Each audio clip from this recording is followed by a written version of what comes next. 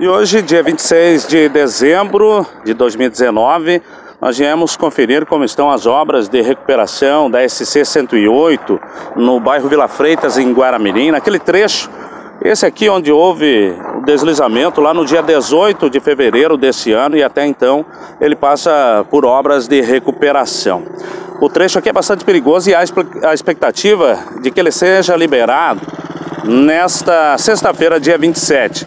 Mas muito provavelmente isso não vai acontecer justamente por causa da falta de segurança. Algumas informações que obtivemos por aqui é de que há uma preocupação bastante grande com a falta de segurança. Aqui a sinalização é ruim e não dá para garantir de fato que se for liberado esse trecho, antes dele ser concluído, de que não vai ocorrer nada mais grave. Os motoristas têm uma alternativa, que é subir pelo Morro do Schmidt, aqui onde a gente está vendo a passagem. Alguns motociclistas até passam aqui por esse local, mas tem que ter todo o cuidado. À noite, de fato, isso aqui é bastante perigoso.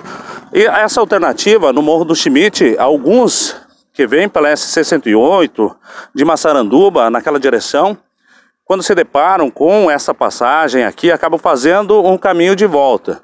Outros até passam pela barreira lá embaixo, mas se deparam com essa aqui, ó, que está impedindo a passagem e que não vai ser removida daqui enquanto não se garanta uma segurança de 100% para quem for trafegar neste trecho. Repórter Jaraguá, Sérgio Luiz, Jornalismo Jaraguá. A gente faz para você.